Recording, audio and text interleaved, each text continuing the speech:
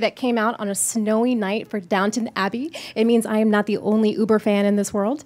My name is Nina Terrero, and I am a writer at Entertainment Weekly, and I'm so excited to be moderating the panel with our two stars tonight. Now, please give a warm welcoming hand to two stars from Downton Abbey, Hugh Bonneville and Rob James Collier.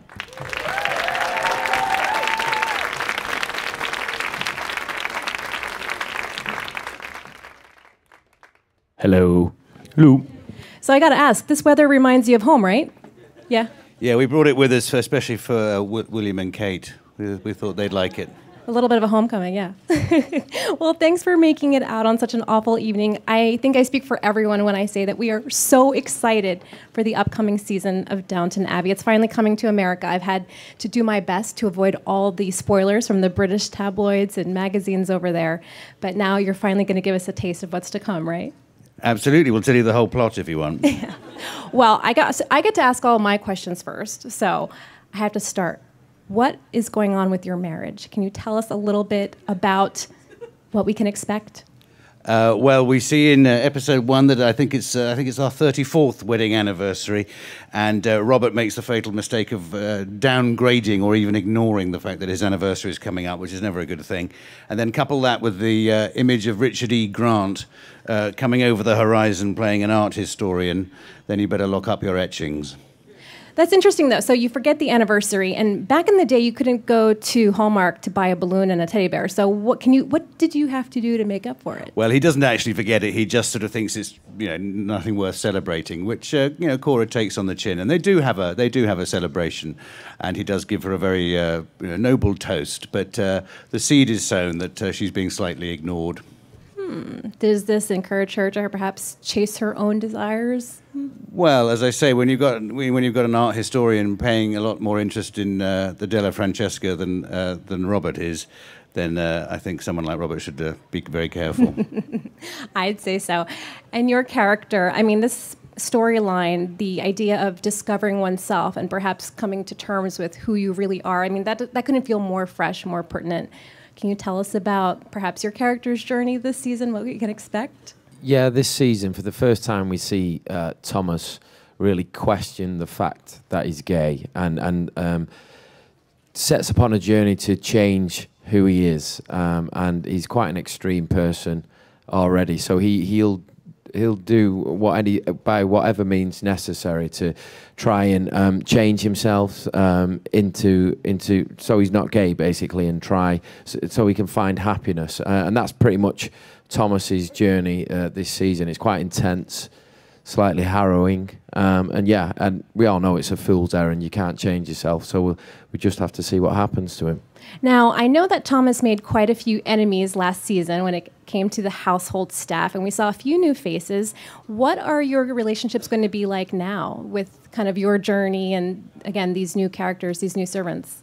Well, he's still got um, um, a hold over Miss Baxter, who he's blackmailing, and he knows a secret from her past. So that's still going on uh, in the new series, um, and he's using her to manipulate. And then later on in the series, we have another lady's maid who comes in who doesn't see eye to eye with Thomas.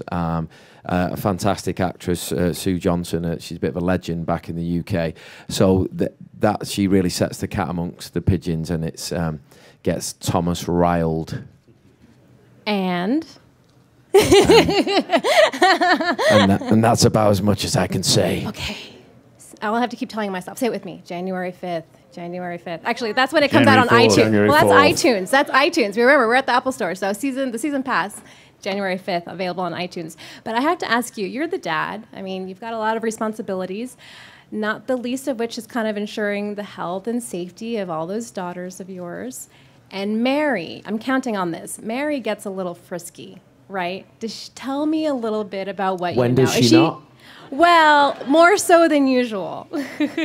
yes, she breaks the sort of ethical code even more. I mean, it was one thing having a, uh, a Turkish diplomat die on you, but um, it's uh, what she gets up to in this season uh, is, is, is what we might call modern, or what she, what in her day would be called very modern, and breaks various taboos. And uh, she's you know she's she's playing the field. She's she's trying to work out where she where happiness lies, and she's determined to taste the fruit before she buys it. Hmm. Hmm. Are you rooting for someone though when it comes to her relationships? Do you have are you uh, team? Well, I, uh, yes, Robert is definitely on Team Tony, T- Tony Gillingham, I Lord Gillingham, him. and uh, Charles Blake is still on the horizon. But who knows? There may be others in the mix. Hmm. Is that? Are you teasing us? Yes. Of course, I'm teasing. Lady Mary's not fussy. I think she is. I think that's the point that she is. And um, yeah, and Edith as well. You know, I do I do look out for my daughters. Uh, uh, Edith is. Uh, Edith, I feel so bad for her. No, no, she's lovely. I mean, she's there's nothing up in her life. She's uh, she's of course she's missing Charles Gregson. She hasn't got a child or anything, has she? as far as Robert is concerned. So everything is happy. Everything's fine. Well, I guess speaking of her child, there's some child actors now on the show, right? This season. Can you tell us a little bit about the dynamic that they've added to the show? Well, they do say never work with children and animals, but uh, we're blessed to actually prove that one wrong on both counts. The, uh, the, we have triplets uh, playing uh, young George. So you have say, triplets? Well, no, I don't triplets? personally. Oh my god! We, we, have uh, we have two boys who are two of uh, triplets. Um, a, they have a sister who apparently rules the roost at home, but uh, the little twins boys of the triplets alternate playing young George, and they're delightful, particularly in their little sort of sailors outfits. They look so cute. And then we have Fifi playing Sybbie.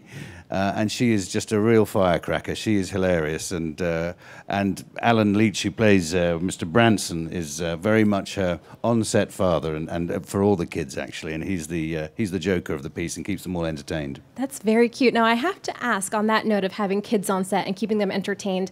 I think a lot of us were amused. I think it was last year when that photo um, kind of came out with the water bottle in the background, and we were like, okay, that's not from the last century, right? or whatnot. So tell us a little bit. Like, did you guys have a kill list on set? Like, you know, maybe no Converses. In the kids' case, maybe like no diapers. I mean, how far did you have to go this season to keep things totally historically accurate? Like, tell us. I think the water bottle was deliberate. I think it's PR genius because okay. everyone okay. talked about it all over the world, and the show wasn't even running. So you know what I mean? It's a good move. No, I've read some very interesting things that we're not allowed to wear uh, underwear or something like that. that. No, no that's tidy a load of old bollocks. Not so period. that's complete rubbish. Um, we've not had any constraints on that score. Um, no, and the kids, uh, the kids, I haven't had any, any, haven't seen anything about diapers or anything like that. No, we, we do, and, the, and the, yes, I've also read that the crew aren't allowed to wear Converse or something. It's equally crazy.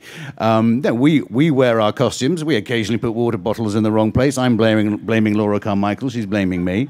Um, but it had a wonderful outcome in that we were able to uh, publicise a wonderful charity in Britain called uh, Water Aid. So there we go. Well done, well done. Um, I do. I am wondering though, on the subject of you know people talking about the show in the off season, how did things change for you in filming this new season as opposed to you know when the show first started and you didn't have quite the fan base that you have now? What are the biggest changes? Well, the biggest change, I suppose, the uh, most significant ones. Uh, I mean, in the, in the first season no one knew who we were, and so uh, there were no, you know, we weren't pulling photographers out of trees, put it that way. Whereas in season two onwards, we, we were. Uh, I was reminiscing today about the, the wedding of Mary and Matthew, and how when we filmed the sequence of uh, myself and, and Michelle Dockery uh, in the carriage coming up the street through the village of uh, our fictional Downton to the church, uh, between each take we'd have to put a blanket over our head and go back to our start position and then uh, set off again because uh, because of the amount of interest. It was like I don't know Lady Di's dress or something, um, trying to keep that concealed. But but the it, I suppose I think we'd all say that it's, it's we'd rather have that amount of interest than no interest at all. And what about for you? I mean, has your life changed very much? I mean, are you able to well, I mean, I imagine in New York, is it as crazy walking around as it is back home? What is that like for you in terms of the level of fame? Um, well, you do get a li- little bit of recognition, but it's nothing crazy. Um, it means I can get a a, a mortgage. Um, the bank manager, the bank manager is now my friend. When before he looked upon me with sus- suspicious eyes. Um, I doubt that. That's it, really. Like we're just actors. It's, it's another job. It's great that it's got this attention, but we're, we're by no means mega stars. The show's the mega star. We're just actors within the show. Well, I would beg to differ, but in any case, you are able to attract other A-level stars or A-list stars to this show. George Clooney right? He's going to have a guest role this season. Can you tell us a little bit about his character and what he, that'll he's be like? technically he's not in this season. George very kindly Oh, um, Christmas special. came along. No, not the Christmas special either. Let me finish, young lady. I'm Um, like, tell me, tell me. I told you guys I was one of the fans. I'm sorry. I think I think there was a connection between um, um, Hugh was obviously on Monuments Men with George, and I think um, Hugh helped get George on board for this uh, great charity in England called Text Santa, and we did a uh, Downton spoof, a skit, and uh, George plays Lord Hollywood, and it comes out in England on the 19th of December, and I'm pretty sure because it's it is very funny, isn't it? Uh, it'll go viral, so you'll all be able to watch it on YouTube and the it here. internet but it's for a great charity. He was a great sport, and we've got Jeremy Piven in it as well, and it's incredibly funny. You should watch it. I will. We will, right, guys? But so, but tell me, did you just call George up and you're like, "Hey, dude, you want to come on my show?" I didn't Yes, say because that's how that's exactly how Hugh speaks. With a British accent. hello, He went, What's dude. up? Hello, is that the dude? um, no, the producer had, uh, of Downton had said that uh, we were, you know, we'd all agreed to do this sketch. I hadn't seen the material at this stage, and uh, she said, "What are the chances of getting George involved?" And I said, zero. He's a busy man." And she said, "Well, don't forget that he's actually might be over in, in England a bit this summer because he's got his impending nuptials to a British lady." And uh, uh, so I, I, you know, I made the call, and he said he had one afternoon in May when he was in town, and he was incredibly generous with his time. And uh, as I've said before, sprinkled some magic dust over our set, and the number of people from production who came on set who hadn't been on set in five years was extraordinary. Um, and uh, The amount of women on set was ridiculous. I'm sure. that's right. No, but he was he was such a good sport, and um, went the extra mile and made us all laugh. That's great. But I think what stuck out to me about what you just said is you have George Clooney's number. So maybe I'll take a look at your phone when we're done and scroll through your contacts list. but that sounds like so much fun. And he's not the only guest star uh, or cameo, I guess you'll have this season, right? There's a couple of new characters, new faces, new people. Can you tell us a little bit about new folks that we'll see this year? Well, we already mentioned Richard E. Grant and Sue Johnston, who are fantastic additions. Um, we have uh, Anna Chancellor, who uh, some of you will know, who guests as well, and she's just glorious. Uh, Harriet Walter returns again, and I think we're probably not going to mention people from the later episodes. I'll probably get shot if I mention the fact that James Faulkner is in it, who's a wonderful actor, and um, Penny Downie come in later on, and a, a very handsome uh, young man called Matt Barber joins us as well. Oh, and he is very handsome, ladies. Annoying, annoyingly handsome. Yeah, annoyingly And handsome. talented.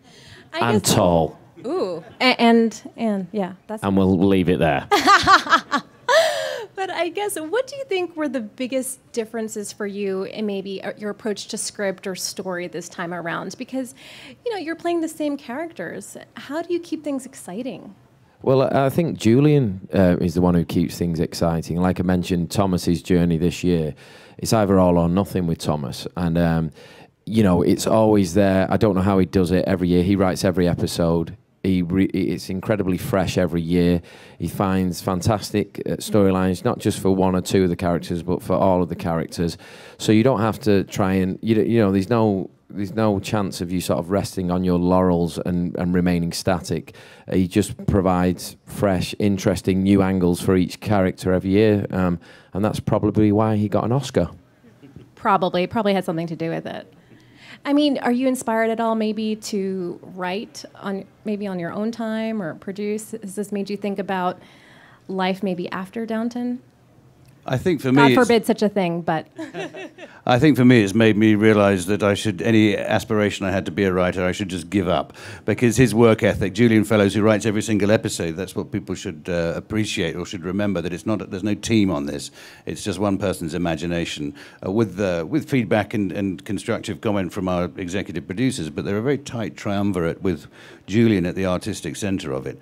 And uh, as Rob says, to be able to you know keep 15, 16 central characters alive through each episode and give them really three-dimensional journeys, um, I sort of put my pen down and thought, "That's it. I can't. I can't write like that."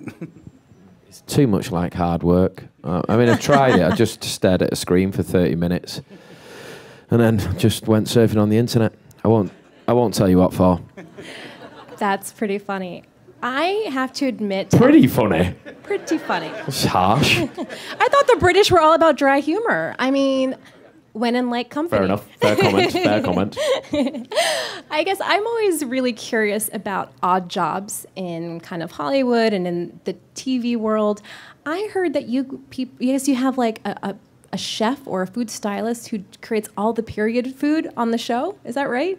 Can you tell me a little bit about that? Yeah, well, um, Lisa, who uh, is our on-set cook, if you like, she and uh, Alastair Bruce, who's our historical advisor, they work through all the menus that are going to be appropriate for the uh, for the scenes. And so Julian may have written, you know, lunch drawing room or something like that, at lunch in the dining room. And uh, together, Alastair and Lisa will work through what would be an appropriate menu. And all the menu cards that are on the tables are actually accurate. They're all written out, each one. They're not just you know handed out each time with the same one.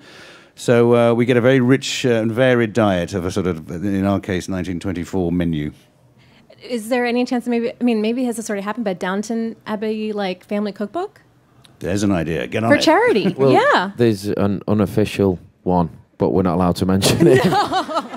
I don't know how they're getting away with it, but they obviously know a good liar. Well, we'll, maybe you guys can you know bring that idea up, do it for charity, as you guys have already had so much success with. That's a good idea. We, yeah? we can get a recipe from Lord Hollywood, played by George Clooney.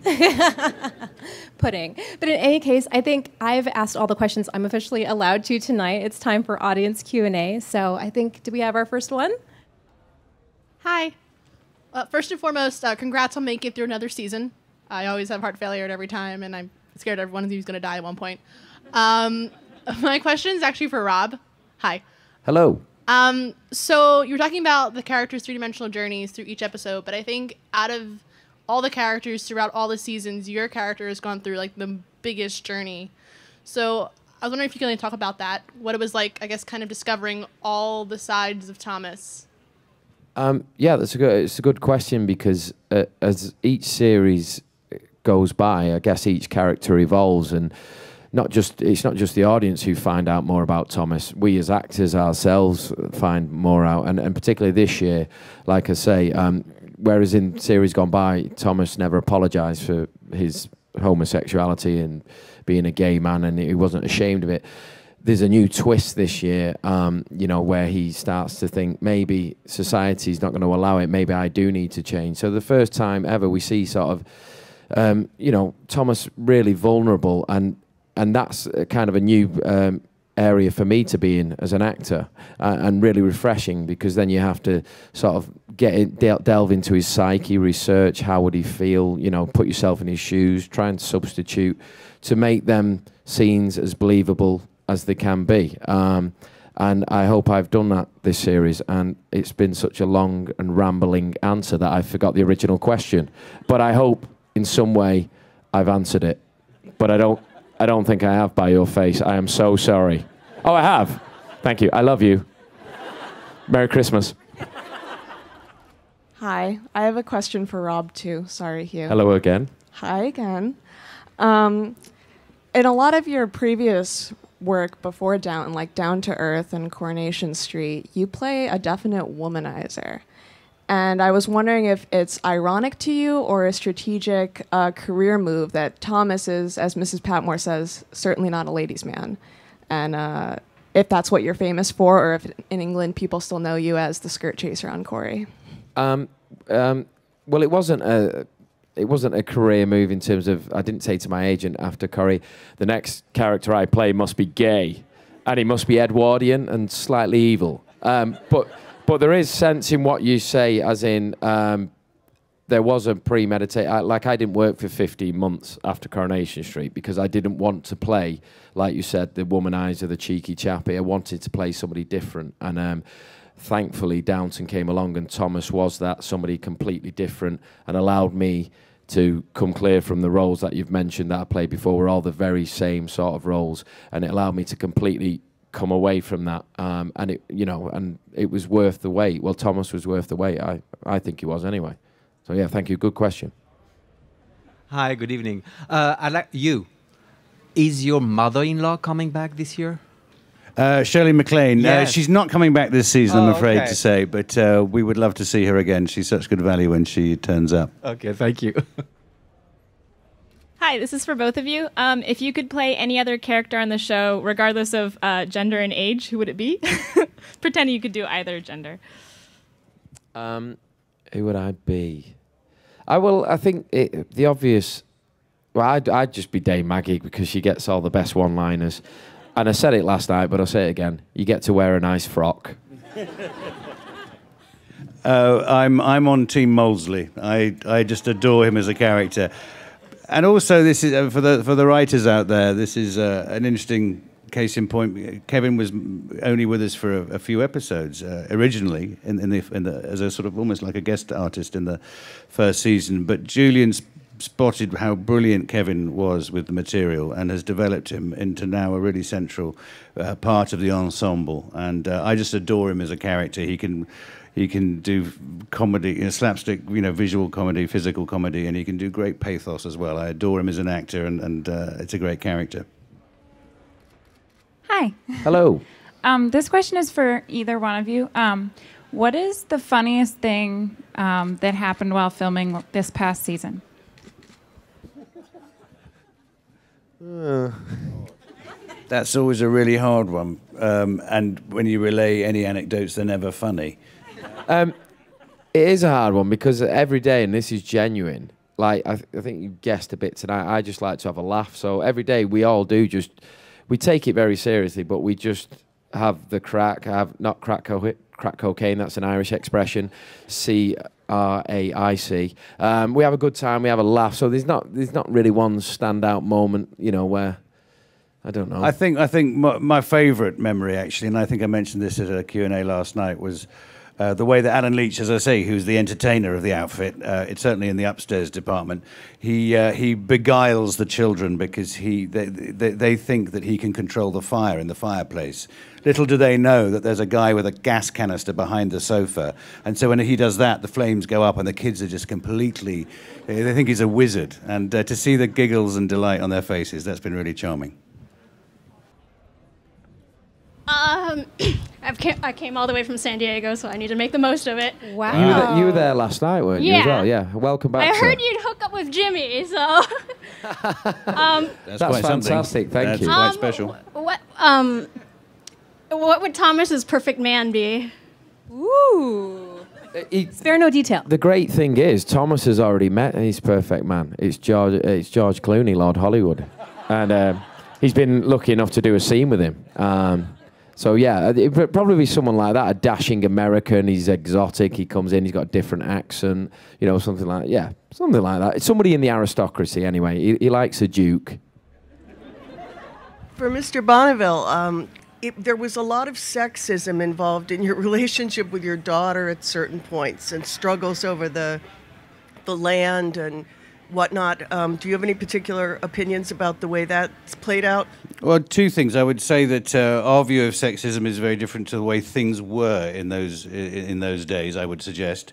The second thing I would observe is that. Uh, uh, from Robert's point of view, he was protecting Mary. He wasn't trying to steal the land off her. He, she was in grief. And Robert, wrong though he may have been in his approach to how you cope with grief, his idea was to really wrap her in cotton wool and protect her uh, and that George was in no condition, obviously, to take over the estate yet, and that it was his duty to maintain. And bearing in mind that since his day of birth, Robert's du- duty has been to preserve the estate.